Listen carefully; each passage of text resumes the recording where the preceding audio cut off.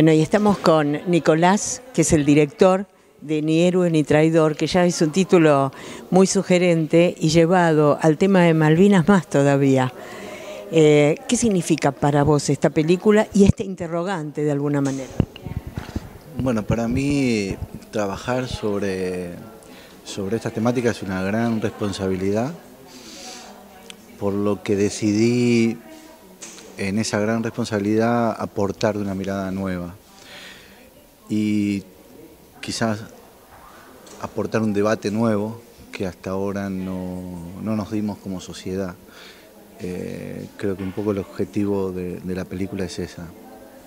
Pensar... Como un debate que no se dio, se daba, digamos, en voz baja, en las casas, pero no en voz alta. Hasta ahora se habló del dolor, de las víctimas, pero no de ese debate.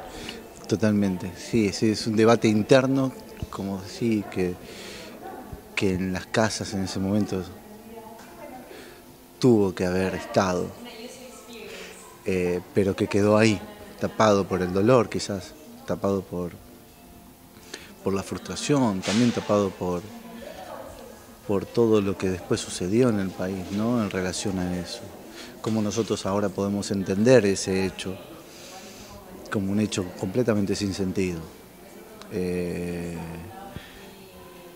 más allá del valor de los que sí tomaron la decisión de ir y el respeto que, uno tiene hacia, hacia ellos, eh, el punto de vista que elige la película es contar ese debate inicial. ¿Por qué te interesó? ¿Qué edad tenías vos en la Guerra de las Malvinas? Vos sos muy joven. Siete años tenía. ¿Por qué te toca tan de cerca? ¿Por qué te interesa como realizador? En principio eh, era un hecho histórico que a mí me, trae y me traía muchas preguntas, de no entender, de no entender. Yo creo que ahí hay, algo de, Hay un personaje en la película que se llama igual que yo, que es un chico de, de esa edad, que lo echan todo el tiempo está en dos escenas y en las dos escenas lo echan. Eh, un poco eso es lo que yo vivía, que me echaban. Cuando los adultos hablaban, yo no entendía y me decían, no, no, esto es tema de adulto. Un poco eso me marca a mí como, ¿no? Y a la vez la mochila llena de, de cosas para llevar a los, a los, a los soldados en la primaria, llevar a la escuela.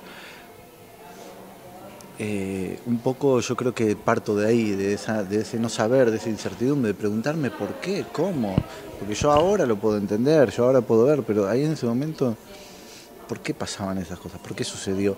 No tanto la posguerra, sino la preguerra. La preguerra, eh, el sentimiento patriótico y la hipocresía. Totalmente, sí, sí, sí, sí.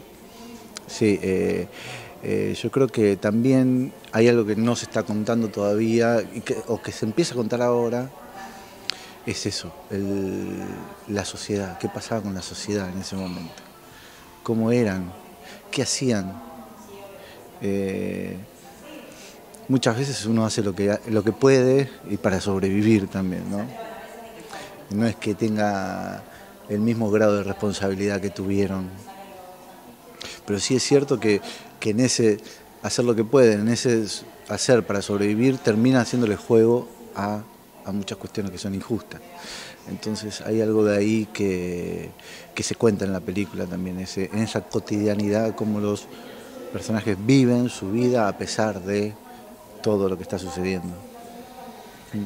Y me gustaría que le digas al público directamente por qué hay que ver ni héroe ni traidor.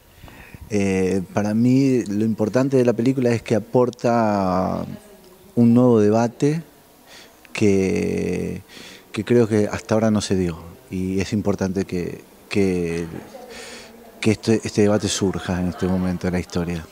Aparte del cine argentino hay que ir la primera semana. Y el cine argentino hay que ir la primera semana, sí. Muchas gracias. Muchas gracias a vos.